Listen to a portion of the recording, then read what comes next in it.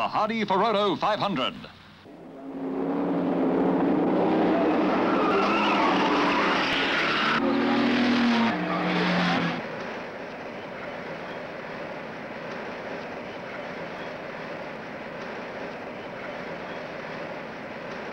Detailing the rugged 3.78 mile circuit is 1970 winner Allan Moffat.